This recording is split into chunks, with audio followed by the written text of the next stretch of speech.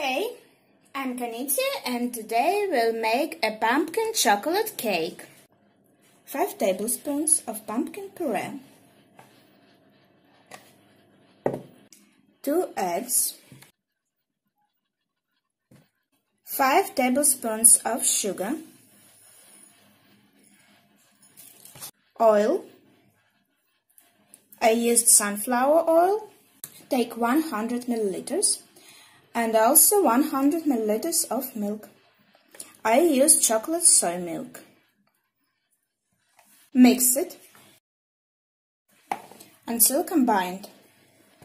Take 275 grams of flour, add a pinch of salt, 10 grams of baking powder,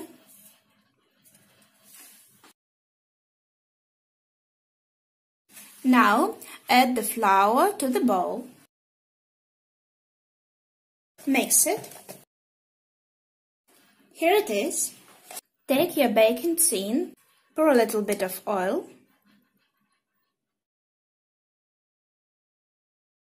and transfer half of your dough.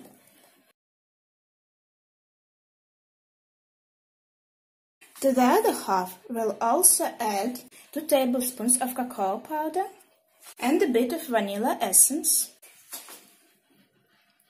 Add the second layer.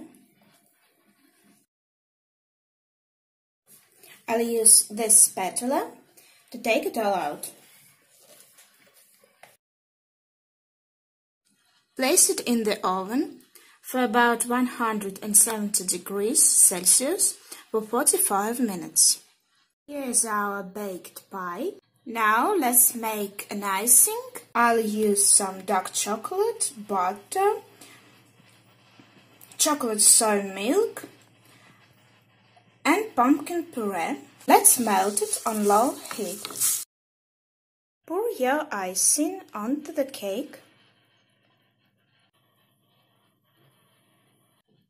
Top it with crushed nuts and some marshmallows. Here is our piece of cake. As you can see, it's layered. We have a bright layer, pumpkin layer, and a bigger chocolate layer, and also chocolate icing, crushed nuts, and marshmallows. Enjoy!